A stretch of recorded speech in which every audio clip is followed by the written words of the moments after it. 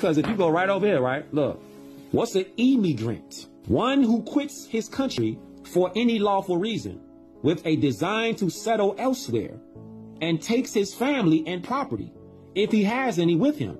These people right here, these so-called Hebrew Israelites, they will be called aliens or immigrants because they quit their own country, their land, and they left to go settle somewhere else.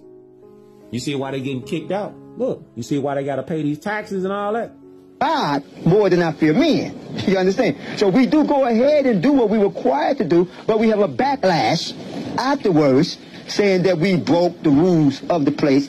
Several years ago, Beit Israel began working with Israeli lawyer Daniel Taib. Together, they are working on bringing the case before the Israeli government. The Israeli government. The Israeli government. In 1998, Tovit picked up her entire life in America and moved to Dimona, a small town in southern Israel. Now she's lived here for over two decades, has had all of her eight children here, but soon they may all be forced to leave.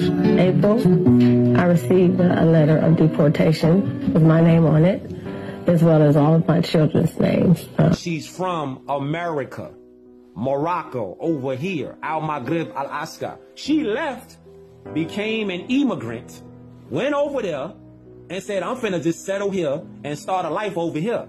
No, sir. You not from there. So you can't leave your own homeland and go nowhere and be like, nah, I'm good over here.